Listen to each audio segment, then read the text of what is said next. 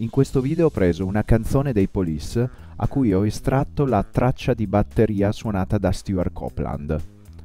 Poi ho provato a scriverci e suonarci sopra una mia traccia di basso che non seguisse per forza il riff della canzone o i suoi accordi.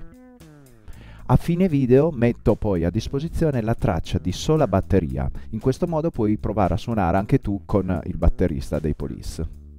Metti un mi piace, iscriviti al canale ed andiamo ad ascoltare. Thank you.